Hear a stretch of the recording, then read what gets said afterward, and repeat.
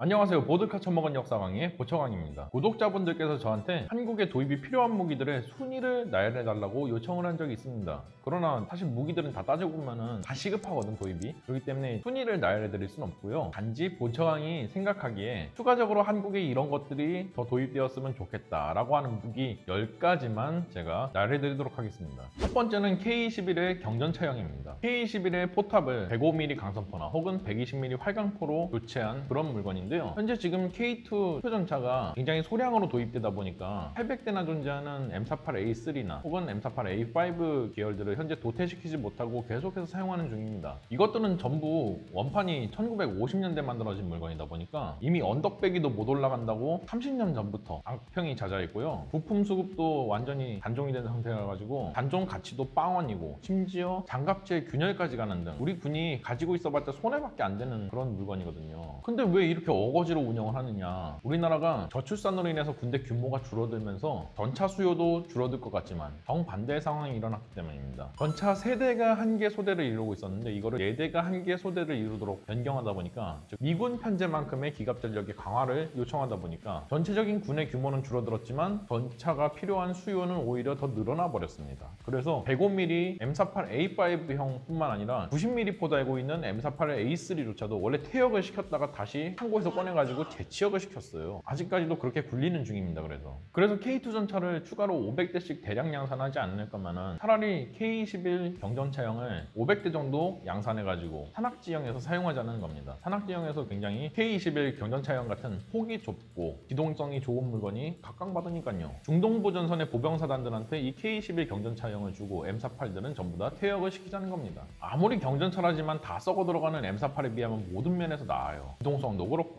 화력도 그렇고 뭐 장갑은 조금 M48보다 딸릴 수 있다 치지만 모듈형 장갑재를 이용해가지고 전시에 추가 장갑을 증설하는 식으로 운영을 하면은 충분히 만회를 할 수가 있습니다. 뭐 21세기에 무슨 경전차들을 도입하는 분들도 계시는데요. 미군도 현재 차기 경전차 사업을 진행 중이고 중국도 15식 경전차라고 굉장히 걸출한 경전차를 만들어내가지고 덩글이나 혹은 산악 지형에서 쏠쏠하게 사용해 먹는 중입니다. 두 번째는 지정사수용 소총입니다. 지정사수는 전문적인 저격수는 아니지만 군대 나 소대에 소속돼 가지고 중거리에서 조금 더 정확하게 적을 제압해 줄 수 있는 그런 보직입니다. 보통 7.62mm급 소총을 많이 사용하고요. 여기에 4배율 이상의 스코프를 많이 달아줍니다. 군대 단위나 혹은 소대 단위 전투를 할 때 적의 중요한 뭐 대전차 로켓 사수라든지 기관총 사수 혹은 지휘자를 제거할 수 있어 가지고 아주 유용한 보직이죠. 물론 좀 생각이 깊으신 분들은 저한테 그럴 거예요. 아니 그러면은 5.56mm 쓰다가 7.62mm도 같이 보급을 하면은 탄약 체계도 이원화가 되고 교육 훈련 체계도 이원화가 돼서 여러모로 복잡할 텐데 고처왕 너 총스퍼거냐? 라고 하실 분들도 계세요. 저도 그걸 알고 있습니다. 그런데도 왜 도입을 하자고 하냐면은 현재 우리나라 같은 경우에는 인력난에 시달리고 있습니다. 그래서 소총분대에 정작 소총수가 거의 없어요. 뭐 필수적인 통신병, 기관총 사부사수,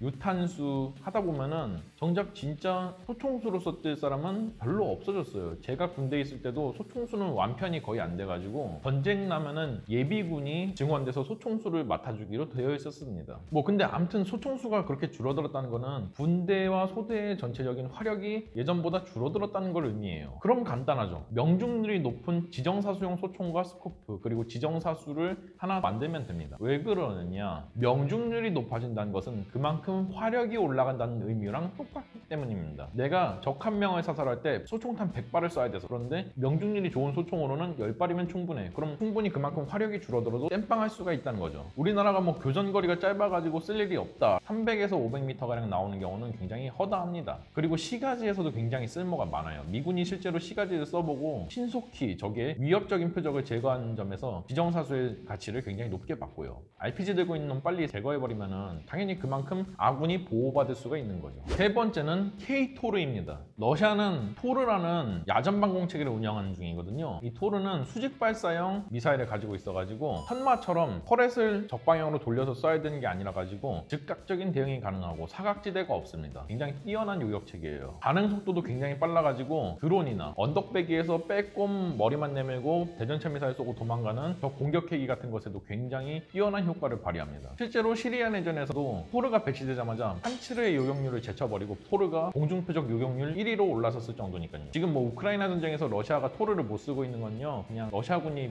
이라서 그런 것 같아요. 이 토르 체계의 한국 버전을 개발하자는 한 겁니다. 차체는 K9의 1000마력급 차체를 그대로 이용하면 되고요. 그리고 추적 레이더와 탐색 레이더를 AESA로 달아주고 전자광학 시스템도 하나 달아준 다음에 실시간으로 국지방공 레이더와 연동해가지고 운영하게끔 하면은 순항 미사일이나 혹은 날아오는 탄도 미사일에도 일부 대응이 가능할 거로 보여지고 있습니다. 네 번째는 킹 스텔리온입니다. 킹 스텔리온은 CH53 스텔리온 시리즈의 최종형입니다. 이전의 스텔리온 시리즈보다 굉장히 우월한 체급과 그리고 힘을 보여주고 있는데요. 치누크가 최대 이륙 중량이 22톤이거든요. 근데 킹 스텔리온은 무려 34톤에 달합니다. 이걸 도입하자는 이유는 정말로 다목적으로 사용이 가능해서입니다. 전시에 북한의 도로 사정이 안 좋잖아요. 그래서 급하면은 헬기로 보급 물자를 공수를 해줘야 되는데 치누크보다 훨씬 더 수송 능력이 좋다 보니까 굉장히 뛰어난 보급 역량을 가지고 있고요. 그리고 특수전 임무에 동원할 때도 특수전 병력 한 개 소대 이상이랑 동시에 온갖 중장비를 다 싣고 특수전 인원들을 강화시켜 줄 수 있다는 거죠. 실제로 미군도 특수전용으로 많이 사용하고요.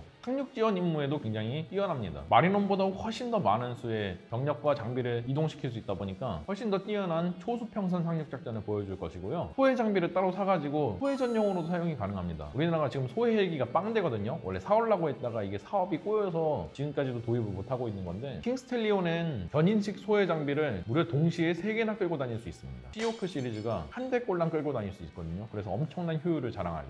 실제로 남포급 기뢰부설함도 킹스텔리온의 이착함이 가능한 수준의 갑판을 가지고 있으니까 충분히 운영하는 것도 가능합니다. 다섯 번째는 ISTAR-K입니다. ISTAR-K는 비즈니스 제트기에다가 고해상도의 지상 매핑 그리고 추적용 레이더인 SAR 레이더를 달아가지고 실시간으로 광범위한 지역에 적의 지상을 감시할 수가 있는 그런 체계죠. 우리나라가 삼축 체계, 특히 킬 체인을 운영하면서 굉장히 필수적인 체계입니다. 원래 E-8 조인트 스타즈를 사오려고 했는데 미군도 절레절레할 정도로 이거는 가격이 너무 비싸고 유지비도 많이 나가거든요. 게다가 E-8의 원형 기종인 보잉 707 자체가 단종이 되어버리면서 더 이상 사올 수가 없게 되어버립니다. 그래서 지금은 비즈니스 제트기에다가 레이더 시스템을 인티해서 사용하는 걸로 바닥이 잡혔고요. 기존의 쌀 레이더 다- 가지고 있는 글로버로크가 따로 있는데 굳이 이거를 도입할 필요가 있냐라고 주장하시는 분들이 많지만 둘의 목적은 같으면서도 약간 다릅니다. 글로버로크가 그냥 단순 정찰기라면은 아이스타 K 같은 경우에는 2737처럼 지상 표적을 실시간으로 추적하면서 아군 무기체계들한테 야 여기 얘 나타났으니까 얘 때려라고 관제까지 해줄 수 있는 물건이거든요. 공중 조기 경보 통제기로 2737이 있으면은 지상 조기 경보 통제기로는 아이스타 K가 있는 거라고 보시면 됩니다. 여섯 번째는 전자전기입니다. 적의 방공망이나 전투기 같은 레이더를 사용하는 물건에 방해 전파를 쏴가지고 무력화시키는 물건인데요. 굉장히 유용한데도 불구하고 우리나라가 30년째 도입해달라고 노래를 부르고 있지만 지금 현재는 경제성이 없다고 결론이 나와가지고 사업이 좌초될 위기에 처했습니다. 이게 단순히 적 방공망을 갖다 제압하는 것뿐만 아니라 현대 공중전의 판도를 바꿔버릴 game changer거든요. 이거를 모르고 한 판단인 것 같아 내 생각엔. 실제로 EA-18G 그라울러 같은 경우에는 훈련 상황에서 F-22 랩터 세계 최고의 전투기죠. 얘한테 전자전 jamming을 먹여버린 다음에 그 상태에서 AMRAAM으로 F-22 랩터를 잡은 적도 있고요. 시리아 내전 때는 터키 공군이 러시아 공군의 Su-24를 발견하고 AMRAAM을 발사했는데 후방에 있던 러시아 공군의 전자전기인 일루신 22 PP가 F-16한테 전자전 jamming을 먹여가지고 AMRAAM이 빗나가게끔 만든 사례도 있습니다. 근데 우리 옆 나라들은 다 뭐 J-20, 뭐 F-35 이런 흉악한 전투기들로 무장하고 있잖아요. 반드시 game changer로서 전자전기가 필요한 상황입니다. 일곱 번째는 20일 같은 공중통신 중계기입니다. 우리나라가 네트워크전을 수행함에 있어서 필연적으로 트래픽 과부하를 겪을 수밖에 없어요. 한마디로 lag 걸린다고. 산악 지형이다 보니까 전파가 산에 가로막혀가지고 통신 감도가 저하되는 문제도 또 있고요. 그래서 20일 같이 비즈니스 제트기에다가 통신 중계 장비를 달아가지고 전선 약간 후방을 비행하면서 데이터 통신을 중계해주는 공중통신 중계기가 필요합니다. 이게 뭐 엄청난 비용이 들어가는 사업도 아니고 실제로 미군이 20일을 운영을 해보니까 그렇게 뭐 큰 돈이 들어가진 않거든. 유지비도 뭐 그렇게 많이 안 나오고. 그래서 우리나라도 충분히 도입을 해서 유지할 수 있는 그런 체계로 저는 판단하고 있기 때문에 이스탄 체계를 반드시 도입을 해야 우리가 원활하게 네트워크전을 수행할 수 있을 겁니다. 여덟 번째는 대잠 초계항입니다. 한국 해군은 원래 27척의 연함 호위함을 뽑으려고 그랬어요. 3,000에서 4,000톤급 정도 되는. 그런데 이게 만악의 근원, 윤영함급을 뽑다 보니까 예산이 막 잡아먹히고 난리 난 거야. 그래서 20척으로 줄어들었어요. 따라서 이제 우리나라는 1,000톤급 이상의 연안 전투함 전력이 현재 37척에서 미래에는 FFX 배치 4를 포함해도 26척으로 줄어들 예정입니다. 아무리 함의 체급이 커져가지고 오래 작전을 뛸 수 있다고는 하지만 이렇게 전체적인 수량이 줄어든다 보면은 각 함들이 휴원 없이 근무를 돌아야 되다 보니까 함정도 혹사당하고 거기 있는 승조원들도 혹사당하고 난리 나거든요. 이 문제를 해결하기 위해서는 중국의 장다오급처럼 1500톤 정도 되는 다목적 대잠 초계함을 12척 정도 건조해가지고 원활한 로테이션을 수행할 수 있게끔 만드는 것이 좋다고 생각하고 있습니다.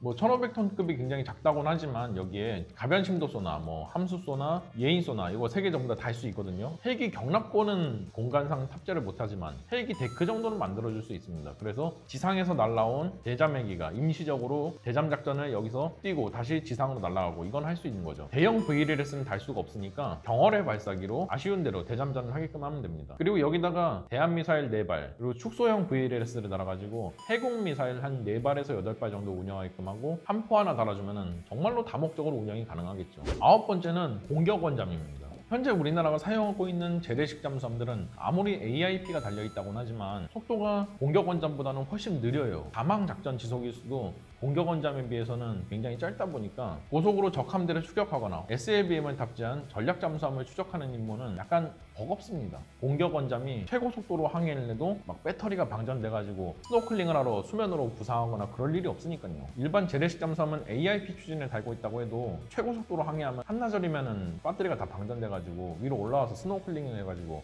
엔진 돌려서 배터리 다시 충전하고 다시 잠항을 해야 되거든요. 이때 공격당하면은 무방비 상태로 그냥 당하는 거예요. 뭐 제한 요소도 과거에 비해서 많이 줄어든 게 현재 한미 원자력 협정에 개정이 돼가지고 우리나라가 저농축 우라늄은 보유를 할 수 있게 되었습니다. 그래서 저농축 우라늄을 사용하는 바라쿠다급 같은 그런 공격 원잠은 보유가 가능하게 되었고요. 열 번째는 오프로드 오토바이입니다. 아니 뭔 우리나라는 두 발 달린 물건에 그렇게 막 인색한지 모르겠네. 같은 산악지형인 일본은 열심히 두 발 달린 오프로드 오토바이를 잘만 운영하고 있거든요. 미군도 운영하고 있고. 이게 왜 필요하냐면은 지상군이 보통 기동을 할 때 특수하게 선별된 정찰조 인원들이 주변을 수색하고 또 진격하게 될 예정지를 정찰하면서 이동을 하게 됩니다. 근데 우리나라가 보병사단이건 뭐 기계화 보병사단이건 전부 다 기계화를 시켜가지고 기동사단 하겠다는 게 국방개혁의 중점 아니에요? 그러면은 진격 속도도 빨라지고 이 기동사단들의 커버 범위도 예전보다 훨씬 더 넓어질 텐데 도보로 다니기에는 아무래도 무리가 많지 않겠어요? 물론 도보로 다니는 게 기도비닉 유지에도 굉장히 좋고 여러모로 장점이 많긴 하지만